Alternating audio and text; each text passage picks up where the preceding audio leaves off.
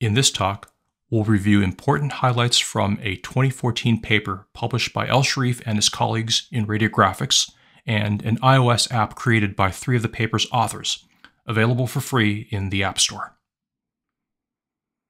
With lung cancer, three important responsibilities radiologists have are to detect it when it happens, to help stage it, and to reassess patients post treatment. Staging lung cancer means describing its extent or spread, which allows us to establish a patient's prognosis and guide their treatment plan. The TNM system is a standardized method for categorizing the extent or stage of lung cancer spread in patients on a scale of 1 through 4 based on a combination of the primary tumor's characteristics, the extent of regional lymph node involvement, and the presence or absence of distant metastasis. The primary tumor or T category is scored on a scale of 1 to 4 and based on the size of the primary tumor and extent of invasion into adjacent tissues. The regional lymph node or N category is scored on a scale of 0 to 3 and based on the anatomical extent of lymph node spread.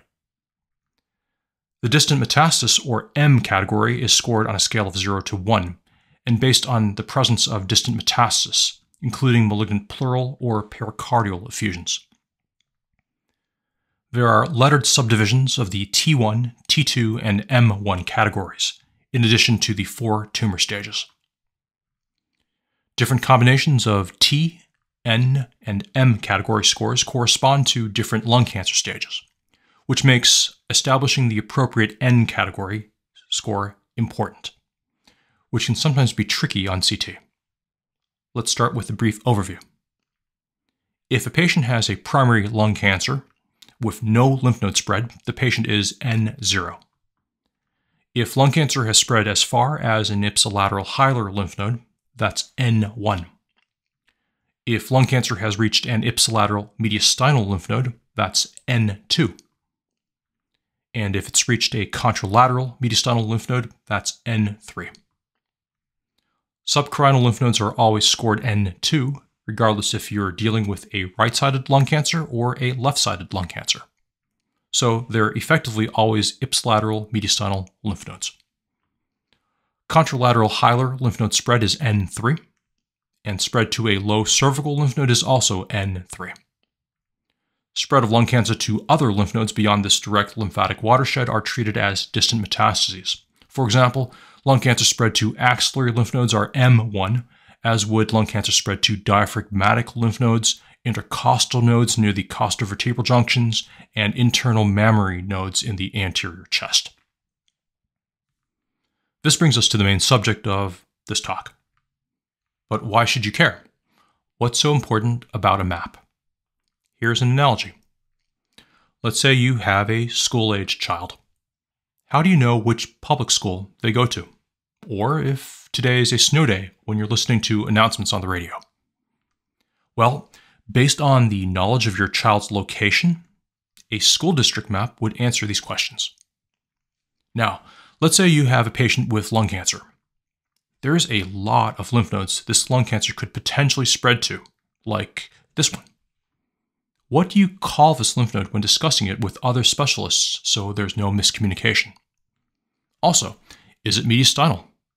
Or hilar. Because if you're wrong, the patient might get misstaged.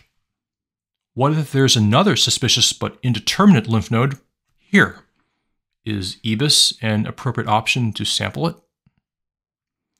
Just like a school district map, a well designed lymph node map can help answer these sort of questions. And the one we currently use was created over 10 years ago by a group called the International Association for the Study of Lung Cancer, or IASLC. The IASLC lymph node map divides regional thoracic lymph nodes into 14 named and numbered districts or stations. Some of these stations are subdivided into right and left. Here's a list of all 14. Subsegmental lymph nodes are lymph nodes we find next to the subsegmental bronchi, also numerically designated as station 14R on the right and 14L on the left. Segmental lymph nodes are next to the segmental bronchi, station 13R on the right and 13L on the left. Lobar lymph nodes are next to the lobar bronchi, station 12R on the right and 12L on the left. Interlobar lymph nodes sit between the origins of the lobar bronchi, station 11R on the right and 11L on the left. Hilar lymph nodes abut the mainstem bronchi and hilar vessels, in addition to the proximal portions of the pulmonary veins and main pulmonary arteries, station 10R on the right and 10L on the left. Subcarinal lymph nodes are inferior to the carina of the trachea, station 7. Paraesophageal lymph nodes live inferior to the subcarinal station, next to the esophagus, station 8. These are unofficially subdivided into 8R and 8L by some people. Pulmonary ligament lymph nodes lie within the pulmonary ligaments, station 9. These are also unofficially subdivided into 9R and 9L by some people. Lower paratracheal lymph nodes are next to the lower trachea, station 4R on the right and 4L on the left. Upper paratracheal lymph nodes are next to the upper trachea, station 2R on the right and 2L on the left. The intersection of the left brachiocephalic vein's inferior margin with the trachea is the boundary we use to distinguish upper from lower paratracheal lymph nodes on the right side, while the upper margin of the aortic arch is used as the boundary between upper and lower paratracheal lymph nodes on the left side. Retrotracheal lymph nodes are immediately posterior to the trachea, station 3P. Subaortic lymph nodes are in the aortopulmonary window and lateral to the ligamentum arteriosum, station 5. Para-aortic lymph nodes are immediately anterior and lateral to the ascending aorta and aortic arch, station 6. Moving into the anterior mediastinum, prevascular lymph nodes are in the anterior chest, anterior to the SVC and left carotid artery, station 3A. These are unofficially subdivided into right and left by some people. And finally, low cervical lymph nodes are in the lower neck, superior to the clavicles, manubrium, and thoracic inlet, station 1R on the right side and 1L on the left side. 14 stations can be a lot to wrap your head around at first, so it's important to see the forest for the trees and understand first and foremost what you need to take away from this lymph node map to be able to reliably distinguish N1 from N2 cases and N2 from N3 cases. That means being comfortable with five tasks. Number one, can you reliably distinguish subcarinal station 7 mediastinal lymph nodes from other mediastinal lymph nodes on a CT? Number two, can you reliably distinguish right hilar and perihilar station 10R through 12R lymph nodes from right mediastinal lymph nodes on a CT? Number three, can you reliably distinguish left hilar, perihilar, station 10L through 12L lymph nodes from left mediastinal lymph nodes on a CT? Number four, can you reliably distinguish low cervical station 1 lymph nodes from upper mediastinal lymph nodes on a CT? And five, can you reliably distinguish right mediastinal from left mediastinal lymph nodes on a CT? Let's begin with number one. What's subcarinal in the mediastinum and what's not? Three landmarks define the territory of the subcarinal station. The carina, the upper margin of the left lower lobe bronchus, and the lower margin of the bronchus intermedius. These circumscribe the subcarinal station. If you scroll inferiorly on a CT, and encounter the carina, the subcarinal station will begin on the next slice, extending all the way laterally to the walls of both bronchi, up to the cardiac space anteriorly and the esophagus posteriorly, until you reach the origin of the left lower lobe bronchus, after which the subcarinal station territory drifts rightward, and stopping after you reach the end of the bronchus intermedius.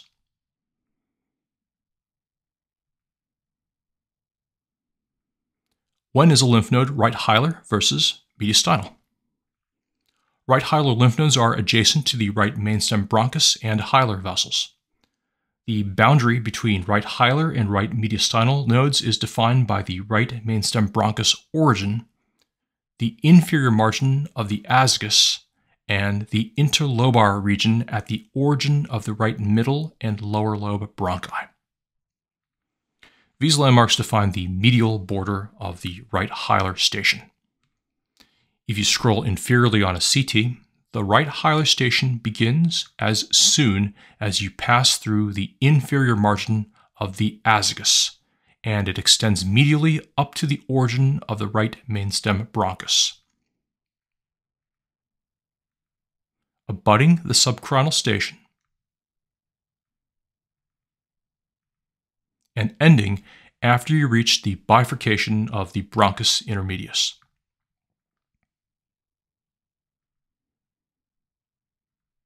When is a lymph node left hilar versus mediastinal? Left hilar lymph nodes are adjacent to left mainstem bronchus and hilar vessels. The boundary between left hilar and left mediastinal lymph nodes is defined by the left mainstem bronchus origin, the upper margin of the left pulmonary artery, and the interlobar region at the bifurcation of the left mainstem bronchus. These define the boundaries of the left hilar station. If you scroll inferiorly on a CT, the left hilar station begins as soon as you see the left pulmonary artery, and the left hilar station extends medially up to the origin of the left mainstem bronchus. Abutting the subcarinal station and ending after the bifurcation of the left mainstem bronchus.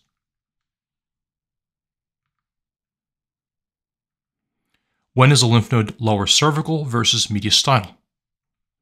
Low cervical lymph nodes are located in the lower neck and not the chest. The boundary between the neck and the chest is the thoracic inlet, and the thoracic inlet is an oblique plane defined by the superior margins of the first ribs, which makes the territory in purple on this image neck and the territory in light blue chest.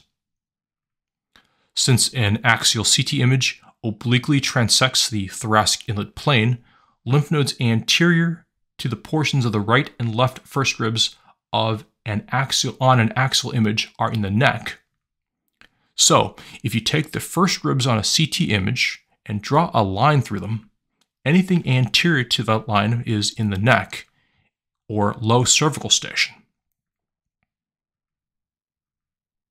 Low cervical station ends when you reach the superior margin of the manubrium. It's very important to know how to distinguish right mediastinal lymph nodes from left mediastinal lymph nodes. Upper and lower paratracheal lymph nodes extend from the thoracic inlet to carina. The left lateral wall of the trachea is the boundary between right and left paratracheal lymph nodes. At the tracheal bifurcation, the midline tracheal bifurcation is used since there's no left tracheal wall in this area. Paraesophageal lymph nodes extend from the level of the left lower lobe bronchus origin to the diaphragm. The midline esophagus is the boundary between right and left for these lymph nodes. Remember, subcarinal mediastinal lymph nodes are always ipsilateral. So, this is what the boundary between right and left middle mediastinal lymph nodes look like.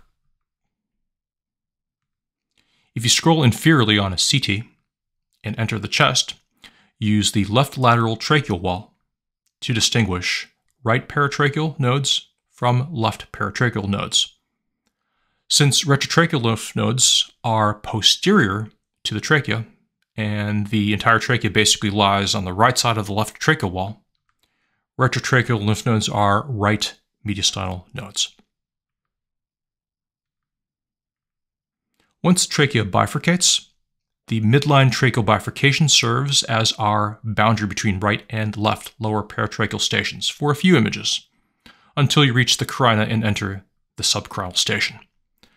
Since subcarinal nodes are always ipsilateral mediastinal, we don't describe subcarinal nodes as right or left-sided. Once you reach the left lower lobe bronchus origin, the right-left mediastinal boundary reappears, but now runs along the midline esophagus.